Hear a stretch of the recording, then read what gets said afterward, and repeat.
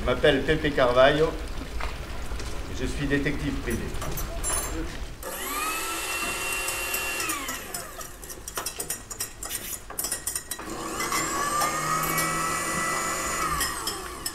Voici ce que dit l'auteur à mon encontre. Pepe Carvalho est un personnage de fiction originaire des bas-fonds de Barcelone. Il a été communiste anti-franquiste et a travaillé comme agent de la CIA.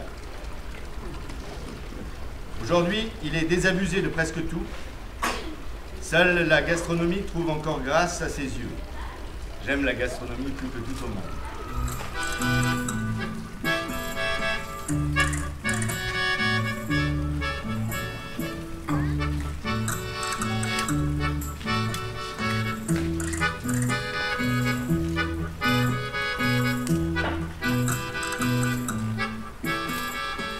L'attachement démesuré de Carvalho pour la cuisine.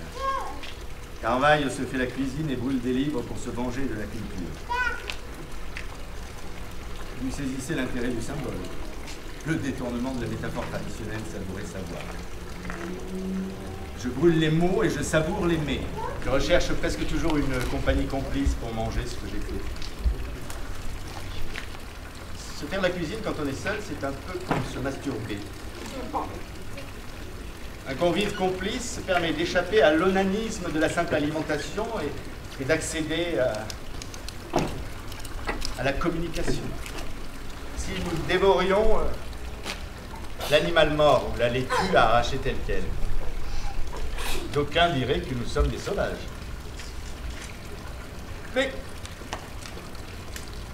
si nous faisons mariner la bête, en vue de l'accommoder plus tard avec des herbes de Provence et un verre de vin vieux. Alors, alors nous avons mis en place une délicate opération culturelle fondée à parts égales sur la brutalité et sur la mort. Selon que vous tuez une vache et que vous la mangez crue, ou que vous la faites euh, griller avec des herbes et que vous la mangez avec une sauce, vous êtes un sauvage ou un être raffiné.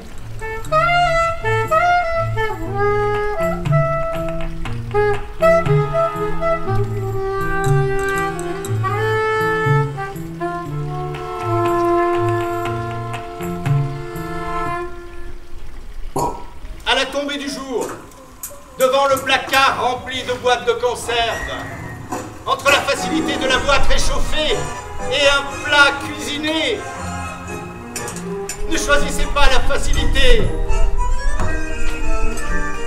si vous avez des enfants qui non seulement mangent des hamburgers, mais les préfèrent à un repas élaboré, c'est que tout a commencé le jour où vous avez accepté une orange à d'Iberia